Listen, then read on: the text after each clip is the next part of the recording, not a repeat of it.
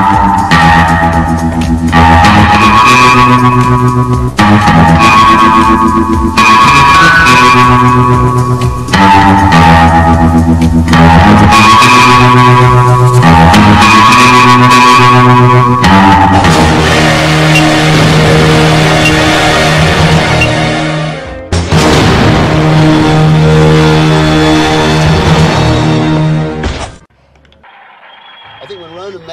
in the, Kenya, he wanted to know if I really, I mean, genuinely wanted to know if I was going to be a, a, the right kind of, you know, if I could dig it and handle it and had soul, you know. But this time he was armed with a stack of papers like this and sort of and sort of sat and sat like this. It was much more, you know, a small survey on the south coast. I remember his exact words. A small survey on the south coast has been carried out, and we have established the fact that if a ship, and, and this was it, you know, this was the pitch. A ship was parked off the coast in the sea, three miles outside, with a transmitter on it. You know anybody that'd be interested in that, you think? You know, put maybe put a few bob into it and so on.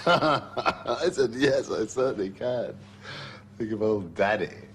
And, uh, and, and, and, and, you know, we went from here. By now, I suppose we'd met in the Kenya at uh, 2 o'clock, and it was now 5 o'clock or whatever.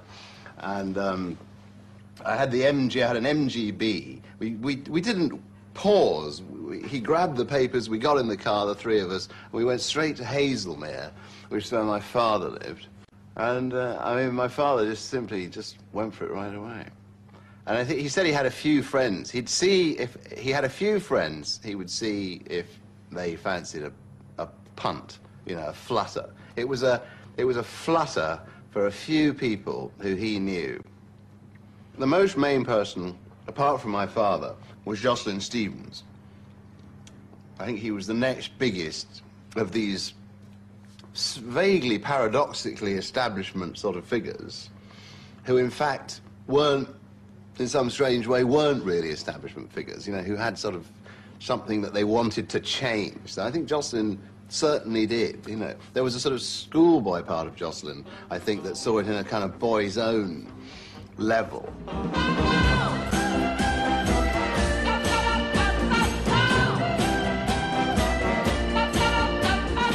Chris Moore had been in the Merchant Navy for about half an hour at one point. He was purser on a, a cruise liner. And so he became in charge of everything to do with nautical matters and had to go to Copenhagen or somewhere with about 10,000 quid in a suitcase and buy a ship.